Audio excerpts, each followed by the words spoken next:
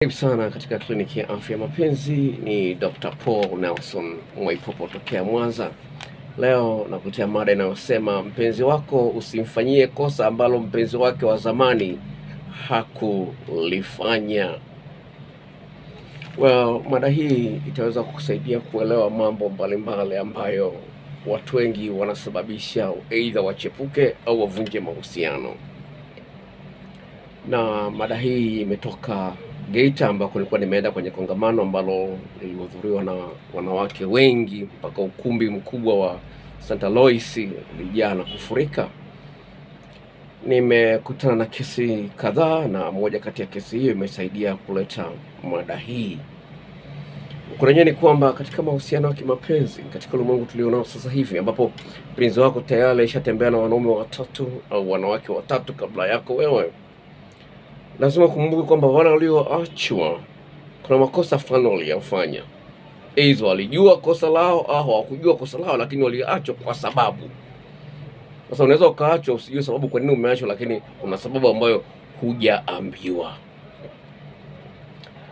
Sasa kutokana na historia tofauti tulizonazo, tunatoa vipaumbele mbalimbali kutokana na mambo tuliokutana nayo katika maisha yetu na experience tulionayo, Tunatoa vipaumbele mbalimbali, lakini kuna maeneo ambayo of course mwenzio anayapa kipaumbele kikubwa, wakati wewe unaona kitu cha kawaida sana. Sasa huwezi ukajua kila kitu ambacho mpenzi wa zamani wa mpenzi wako alikikosea, na mara nyingi watu wengi hawapendi kuzungumzia juu ya ex girlfriend au ex boyfriend wako ukiwa na mtu mpya, yale mambo ya zamani hutaki kuyazungumzia, lakini ukweli ni kwamba kuna siri imefichika pale. Ni rahisi sana, kwa mfano, kwa mpenzi ambaye alikuacha akaamua kurudi kukurudia wewe anakuambia nimegundua kosa langu yani sitakutana na mwanamke mwingine kama wewe, naomba tafadhali tu nisamehe, turudiane, nimegundua makosa yangu. Au dada anarudi kwa mwanaume anaambia nimegundua makosa yangu, sitakutana na mwanaume mwingine kama wewe, mwenye thamani kama wewe, nakupenda, naomba turudiane. Hizo stori zipo, ni kwamba huyu mtu alimwacha huyu akiamini amekosea, kufika kule akakuta mm, afadhali ya yule. Kwa maneno mengine ni kwamba unapomfanyia mpenzi wako makosa ambayo mpenzi wake wa zamani hajamfanyia, akaanza kufikiria kwamba alikotoka ni bora kuliko wewe, tayari ulitengeneza mazingira ya aidha achepuke au akuache, kwa sababu tayari anakuona hufai kama yule aliyekuwa ametangulia. Ningependa kuambia ndugu msikilizaji au mtazamaji wa channel hii, ni jambo la msingi sana utengeneze urafiki mkubwa sana na mpenzi uliye naye, sio tu urafiki wa kimapenzi, no, urafiki mkubwa sana. Nataka kukupa story ambayo imetokea Geita, ambayo imesababisha nikuletea mada hii. Huyu kaka ni handsome, ana kazi yake nzuri. Sasa nilimwambia kwamba anakuja Geita, tunaona Geita alikuwa na shida of course ya maumbile madogo. Sawa sawa. Sasa mbaya uzuri tumekaa pale, sawa, tunaongea naye, anaambia bwana, hii habari nimeambiwa na mtu ambaye sio girlfriend wangu, ni rafiki yangu, lakini mfanya sex. Huyu dada alikuwa anakuja kwake anafua mpaka chupi, lakini hawafanya sex. Walikuwa ni marafiki. Sasa urafiki wao ulikuwa ni mzuri sana. Huyu kaka anasema kwamba yani urafiki wetu ulionao naona ni mzuri sana, kwa sababu kila mmoja ana uhuru wa kumchana mwenzie live. Hayo ni maneno ambayo nimeanukuu. Anasema anaweza akamchana live, akakwambia kitu bila kuficha chochote kile. Sasa imefikia hatua wakaanza kufanya mapenzi. Yule dada akamwambia ukweli, naye akamchana live, akamwambia bwana, uume wako mdogo.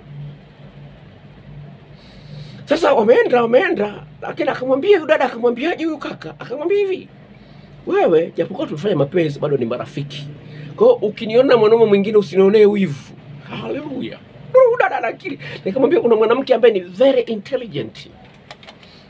Nikamuuzia dawa ya nguvu za kiume na kuongeza ukubwa wa ume fine, meenda. Lakini cha msingi ambacho napenda kukizungumza kwenye, kwenye, kwenye, kwenye mada hii ya msingi ni kwamba hivi huyu kaka amekutana na mwanamke ambaye wamekuwa wapenzi kwa staili yao wenyewe wameamua kucheza tu ngoma ya ukubwa kufanyia mapenzi kama burudani, lakini hawana malengo ya kuoana. Lakini anasema nimeanza kuwa na hisia naye. Kwa hiyo kuna vitu ambavyo mtu atakutana navyo ambavyo angependa avione kwa mke mtarajiwa au kwa mume mtarajiwa. Au kwa mke tayari au kwa mume tayari, mko ndani ya ndoa, lakini nafikia f- mahali fulani anaanza kuota ndoto za mpenzi wa zamani, mambo mazuri alikuwa anamfanyia. Sasa wewe yale mazuri alikuwa anafanyiwa na girlfriend wake wa- wa zamani au boyfriend wake wa zamani, wewe huyafanyi. Kwa hiyo unamweka huyu mtu katika eneo ambao anajiona amekwama. Kurudi kwa mpenzi wa zamani hawezi kuendelea na wewe anaona vigumu kuachana na wewe inakuwa vigumu unaona? Kuachana na wewe inakuwa vigumu kumrudia yule wa zamani inakuwa vigumu anakuwa amekwama katikati. Hajui paende wapi. Ndio hapo sasa. Mchepuko unaanza na hali ya kuachana inatokea hapo hapo. Kwa maneno mengine ni nini maana ya mada hii? Ni kwamba usimfanyie mpenzi wako ambaye unampenda kosa ambalo hajawahi kufanyiwa na mpenzi wake wa zamani. Kwa maneno mengine, jitahidi sana sana sana, kila siku inayoitwa siku uwe ni mpenzi bora zaidi ya jana. Kwa maneno mengine, kwamba jiongeze sana. Napenda kwamba hivi Ah, simu yangu nyingine nimeweka mbali, ningekusomea hiyo message ungeweza ukaelewa. Sawa. Dada mmoja ananiambia, dokta, mimi naona wewe ni mchawi. Asema hivi kwa shilingi elfu kumi umeokoa ndoa yangu. Asema hivi kwa shilingi elfu kumi umeokoa ndoa yangu ya miaka tisa. Na mpaka waweka kwenye peji yangu ya Instagram hiyo hiyo statement hiyo dada, nitaweka kwenye peji yangu ya Instagram.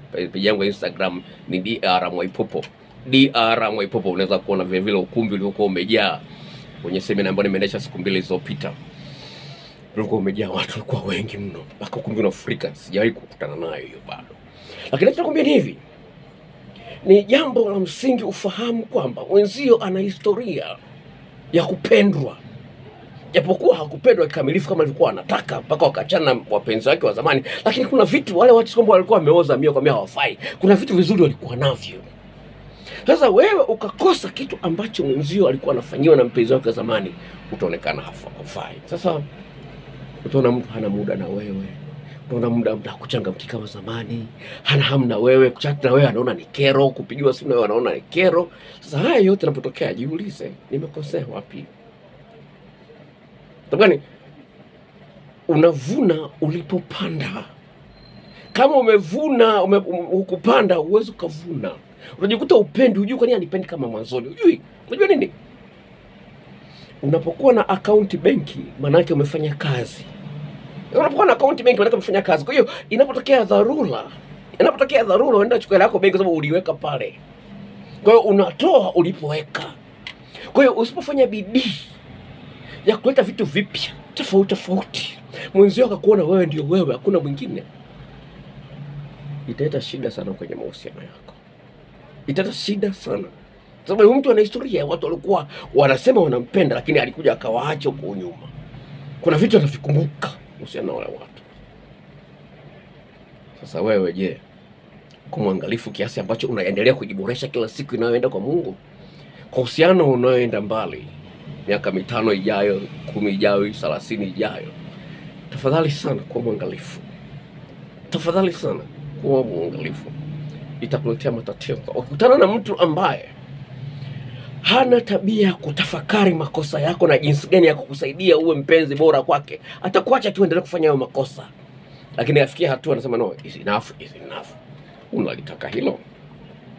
Bye bye.